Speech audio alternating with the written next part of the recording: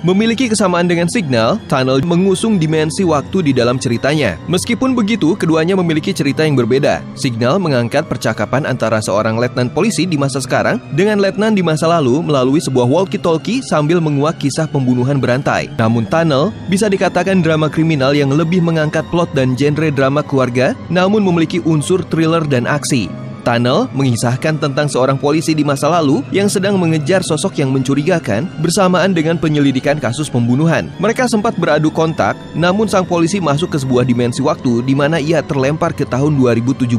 Ia meninggalkan istri dan juga calon bayinya di tahun 1986. Oleh karena itu, dia harus menemukan pelaku untuk bisa kembali. Tunnel beberapa kali menunjukkan kita adegan-adegan menegangkan di mana sebenarnya pelaku pembunuhan berantai sekitar 30 tahun yang lalu ada di sekitar mereka. Tak jarang, Tunnel memperlihatkan plot-plot seram seperti saat sang pembunuh berantai beraksi.